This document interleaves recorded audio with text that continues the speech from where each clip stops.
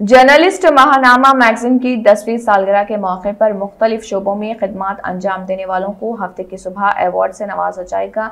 Magazine के editor वो editors association के सदर विजयवाड़ा कृष्णा राजू ने ये बात कही। इंटरमेंट ट्रिब्यूनल के चेयरमैन हरनाथ ज़िले collector S Dalir Rao A P fiber net limited के चेयरमैन पी गौतम रेड्डी और दीगर ने मेहमानों की हैसियत से शिरकत की। कृष्णन राजू ने कहा कि इस मौके पर श्याम मंदिर के राजू लापोडी श्रीनिवास, एडवोकेट अशोक कुमार, कई इस और मुख्तलिफ़ शोबों के माहरीन को अवार्ड से नवाजा जाएगा। ये प्रोग्राम हेतल लीला ग्रांड, नजद लेन सेंटर, गुवारशा पेट में सुबह साढ़े नौ बजे मुनद होगा।